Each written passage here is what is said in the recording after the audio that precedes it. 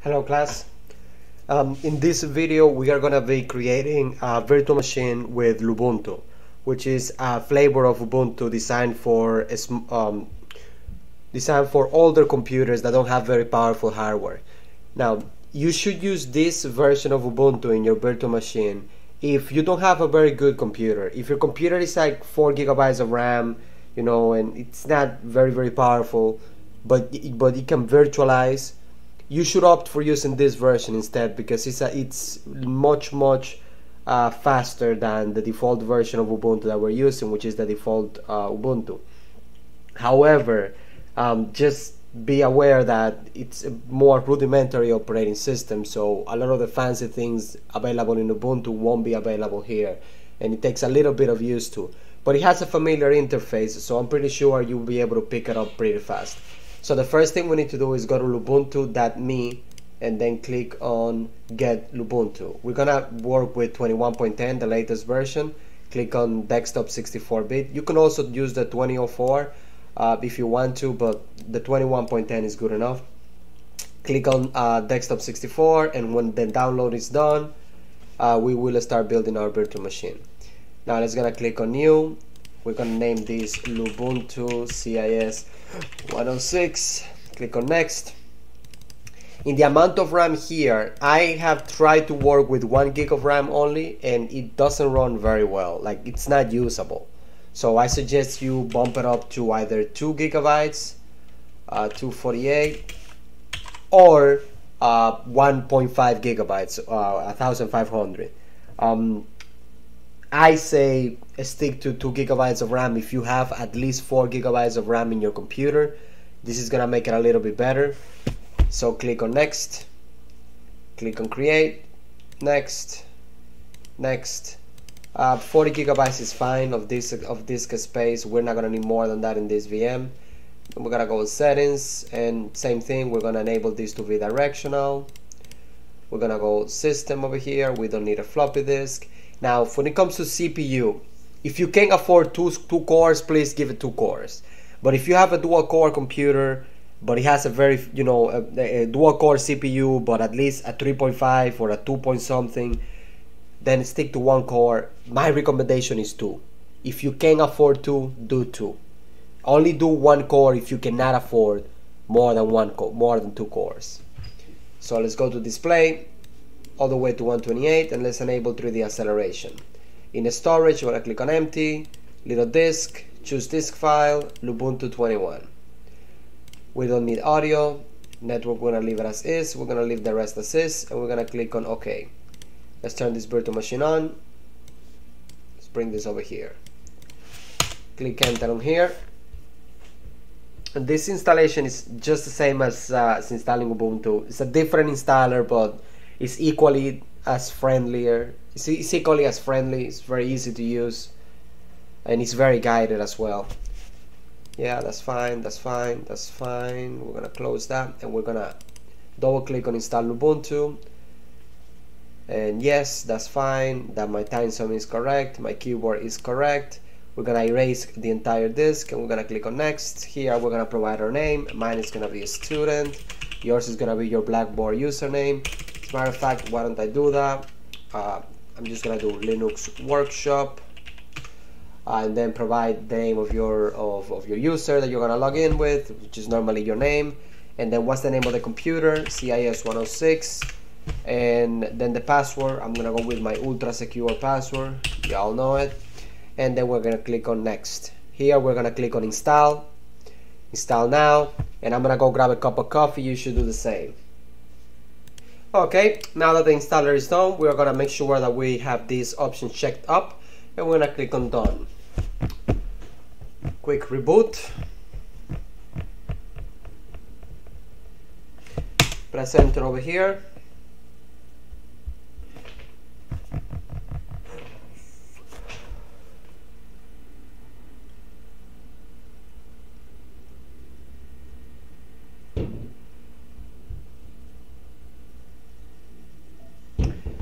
let's log in.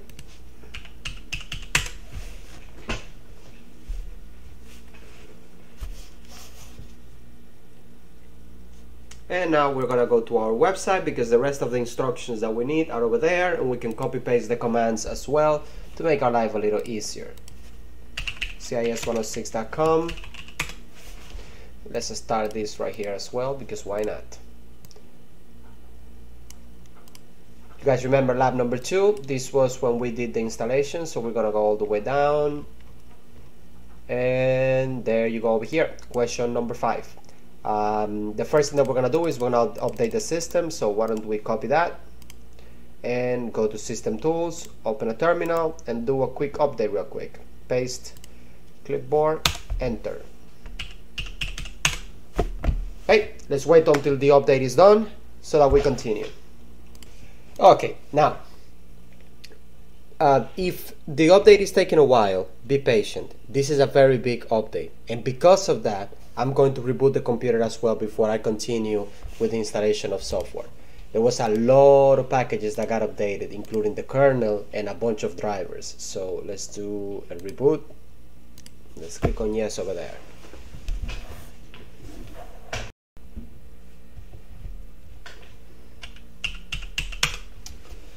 Okay.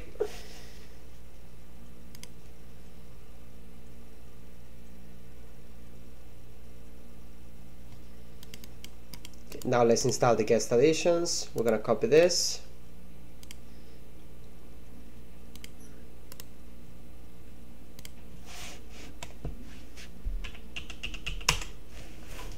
And let's wait until it's done. Okay, now let's do another reboot real quick. Okay, so once the computer boots in and you sign in, make sure that you install this, which is the guest additions. Um, before I used to have it as a single command, but I split it up because if you're installing a distribution like this one that has a massive update pending, you know, running all of these commands in, in one shot, you know, can cause troubles. So we did an update, then we installed the build essentials and Linux headers. Then now we are installing the guest addition so we're going to let me see minimize and it's almost done. This doesn't take that long. And once we have completed this part over here we are going to jump to installing um, VS Code and then installing the necessary extensions of VS Code.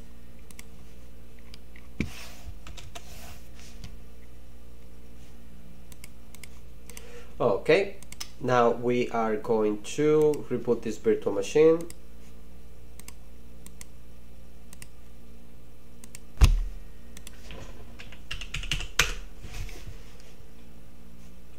On maximize and then maximize.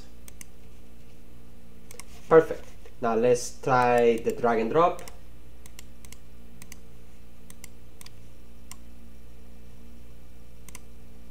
Perfect.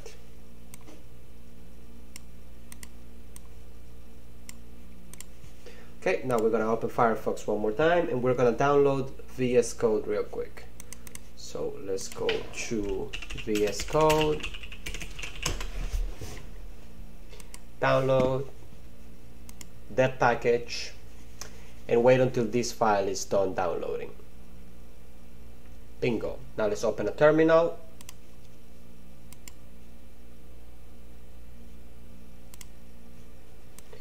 and let's do sudo apt install period forward slash downloads co and then tab for autocomplete. And let's wait until this installation is done which should be very fast because again this is only one program that we're installing and it doesn't have that many dependencies either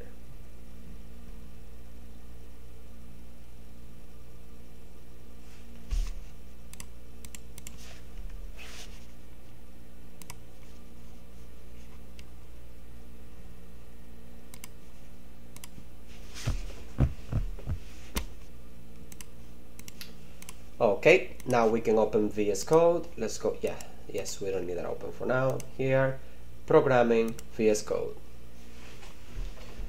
okay let's put this on the side and let's put this on this side over here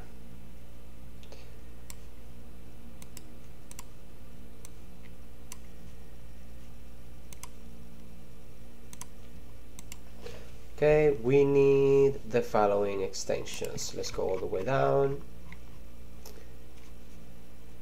Live server.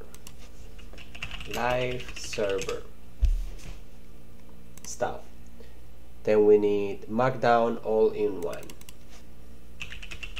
Markdown all in one.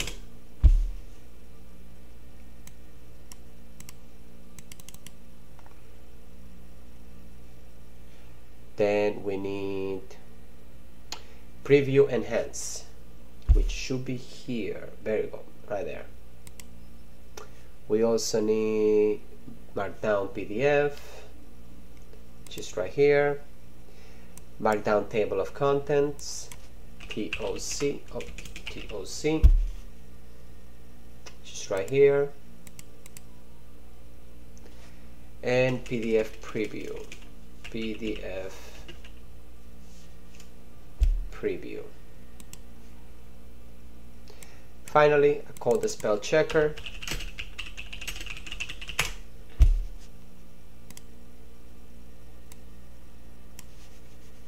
And we are done with Markdown. We can close here. Next, um, we need to install these applications, but we can easily do it with these three commands over here this single command over here so we don't have to open the software center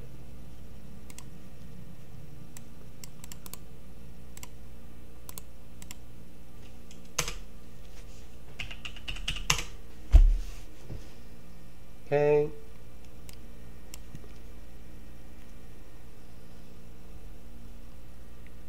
then we need to install these programs over here we can run these commands one after each other we are not going to do this part over here because we're not using GNOME, we're using a different desktop environment, LXQt, and things work differently in this desktop environment. So this we're going to skip, but this we need to install. And after we're done installing this, we're gonna set up our uh, our GitHub account in this computer and set up our Git name and everything.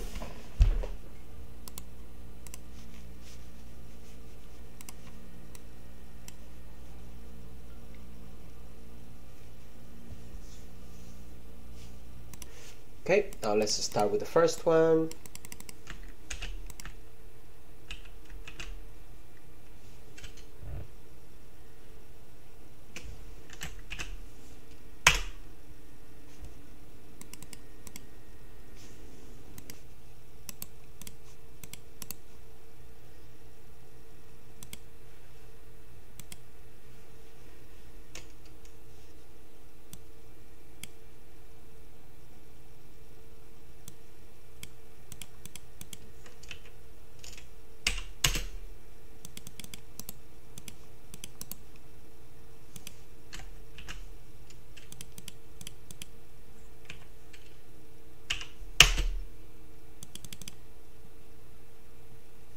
This one over here we are not going to install.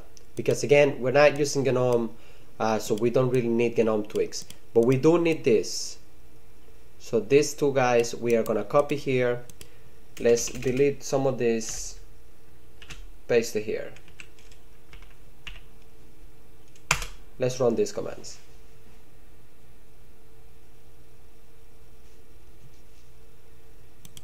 And we have a little error over here.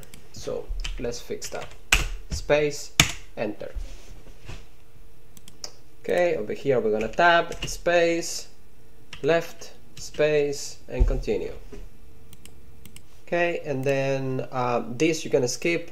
We're not gonna we're not gonna use this in this installation so we can move along.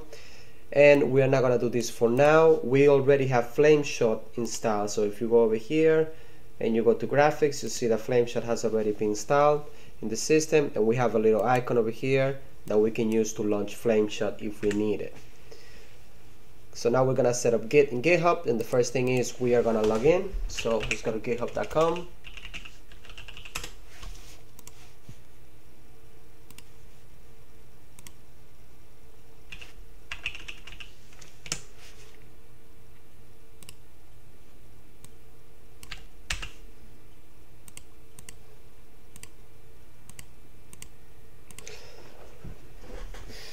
sign in.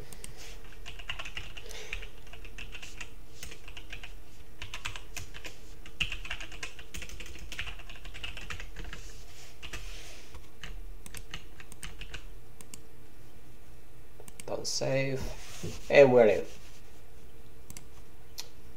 Then we're gonna set up our username and password. So first let's set up the username. My username is Linux Workshop workshop 67 and my email is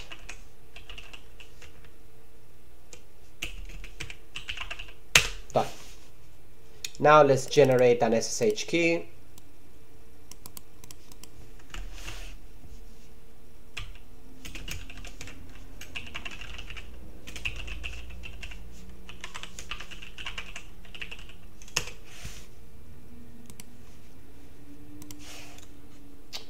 Gonna press enter over here, enter over here, enter over here, and we're almost done. So now we're gonna display our public key. Copy this, we're gonna go to GitHub, settings, SSH and GPG, new key, let's give it a name, paste over here make sure you don't have a trailing space and then add SSH key. Now that we're done we're gonna paste our SSH key make sure that we did it correctly. And let's type yes over here. And yep we successfully authenticated. So we're good to go on that regard. Next we're gonna clone our github repository. So my github repo is this one over here CIS 106 Spring 22 this is the GitHub repo that I've been using. So what we're gonna do is we're gonna do git clone. So first we're gonna do cd. Make sure that we're in our home directory. And then we're gonna do git clone git at github.com column your github username. In my case is linux workshop 67 slash your GitHub repo CIS 106 Spring 22. If we go over here, CIS 106 Spring 22. Make sure everything is spelled correctly and press enter. Now if you do an ls command, notice that you have your GitHub repo over here. And we can successfully close this. And if you go over here and you open VS Code, and you click on open folder we can get to work now. So I'm gonna click on yes trust author. And just for testing this around this I'm going to create a folder for lab 5 let's pretend I'm gonna work on lab 5 and then inside lab 5 I'm gonna create a, a file called lab 5.md and here I'm just gonna say hey I am a test file let's save our document and let's open a terminal. And we're gonna do git add period git commit minus m testing and then git push. And if we go to github and refresh our page labs lab number five right there and we have our file over here lab5.md okay with that with that done now you can play around with this system however you like. And yeah that's about it. If you encounter any issues let me know via slack and we can hop on a call and figure it out. Again this um, this virtual machine this operating system this version of ubuntu is intended for those who are looking for a speedier system uh, than what we're currently using right now or don't have a computer that is that powerful. You want something very lightweight very but that can get the job done. This is for you. Okay? Take care. I'll see you next time